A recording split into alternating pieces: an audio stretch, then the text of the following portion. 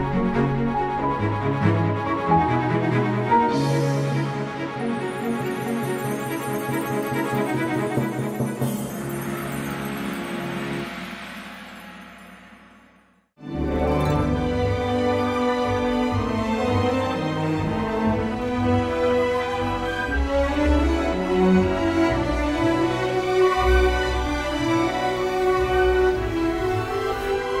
Rett her oppe ligger Chateau de Montsegur.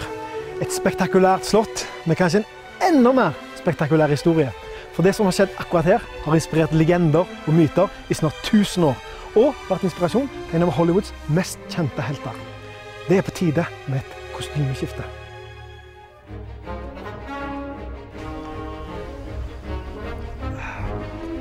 Da er jeg klar for ekspedisjonen.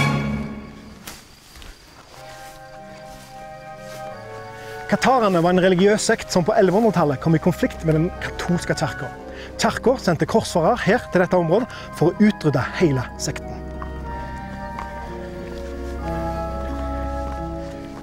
Tidlig på 1900-tallet levde det en tysk arkeolog som het Otto Rahn.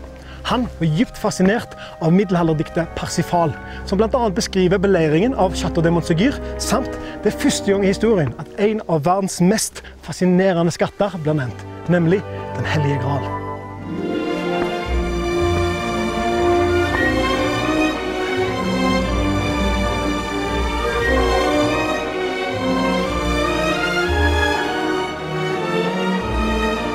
Otto Rahn var overbevist om at granen lå begravd i en av de mange grottene under chateauet her.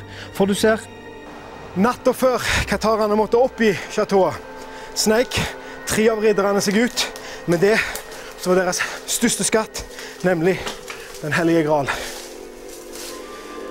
Ifølge legenden gjemte de gralen i en av de mange grottene rett under chateauet. Og som alle legender går, ingen har noensinne funnet Den hellige gral.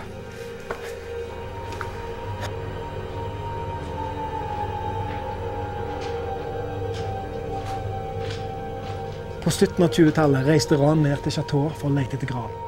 Han fant den ikke, men resultatet av besøket ble boka 'Korstog mot granen', som kom ut i 1931. Boka ble lest av en mektig person som i 1933 oppsøkte Ran og ga han et tilbud som skulle bli hans bane. Møtet mellom de to har klare likhetstrekk med et av de mest berømte møtene i tysk litteraturhistorie, nemlig møtet mellom Faust og Mefistodes.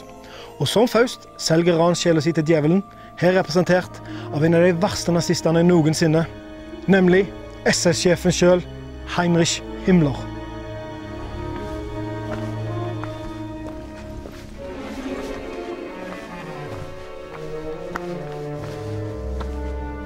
Himmler elsker det okkulte og beordrer Ran til å finne gralen for nazistene.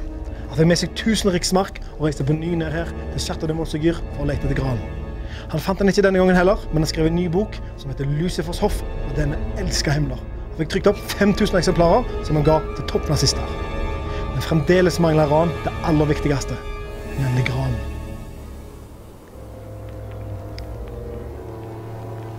Årene går, og Ran han finner ikke granen. Og som i historien om Faust, så skal djevelen ha sitt. Otto Ran, han må betale den ultimate prisen. I mars 1939 ble Otto Ran funnet i helfrossen og på toppen av et fjell her i Alpene. Ryktene sa at han hadde SS-leiemordere etter seg. Andre rykter sa igjen at han ikke hadde dødd, men rømt mot Italia.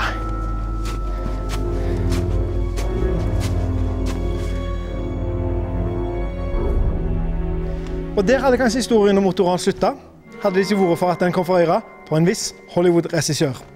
Og resten er som de sier der borte history. Du-du-du. Do-do-do. Do-do-do.